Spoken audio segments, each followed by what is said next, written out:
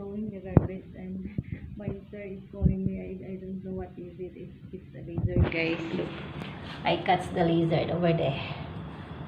Yeah, I catch in the room, guys. In the room, in the living room. They are very scary about if they saw the lizard. My madam almost dying, guys, if she saw the lizard. That's why sometimes if she, she's very mad, she's very mad. I am thinking, oh, I will bring the lizard in. she's almost dying, guys, if she saw the lizard. Yeah. But sir, no, only she and then the, the ama, they are almost, you know, guys, they cannot sleep if they saw the lizard. I don't know why. Maybe they are. Thank you! As usual, I'm here. Yeah. Naka-freestyle po ako ulit. Hindi na po ako nag-uniform. I never wear my uniform as of my contract is finished. Yes. Hindi naman po siguro kalabisan na magsuot po ako ng aking mga damit. Kasi uh, I'm finished my contract already. Yeah, thank you. I'm done my tra tra throwing throwing garbage. I go live in Margarita Channel TV but no people. thank you, thank you. See you soon in my room. Very happy. Very yes, I'm very happy. Done done again, but tomorrow again the kids is if they are sleep early then they wake up early.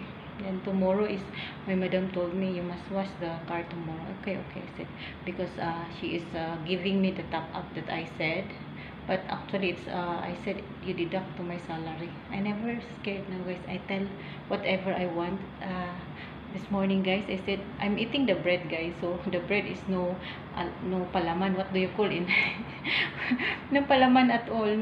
Nothing. I cannot eat only the bread. No sandwich bread or or what? Mayonnaise? No no. I don't like the one the the KFC the sauce there.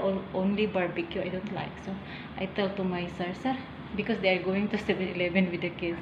I said sir I go 7-Eleven yeah yeah. Yeah can you buy me ano a sandwich bread I said can you buy me sandwich bread I want I want my own. I said I want my own. Just deduct my salary. I tell I tell already guys. I didn't assume. I didn't shy and like before that I'm in the contract guys. I'm scared to tell. Now I never scared. Then uh, my madam told me oh this one clean this one clean. This one okay okay. He said okay. She is uh, good then I good. She is uh, telling me nicely then I I answer nicely. If she is telling that she is angry I never smile. I never I never answer guys. I just follow follow. Yeah that's me guys now. I never scared anymore because I'm finished contract. If I want to work work. If I don't like work stay in the room. It's okay. Yeah that's all guys, i-share ko. Thank you very much. See you soon in my room. Bye-bye!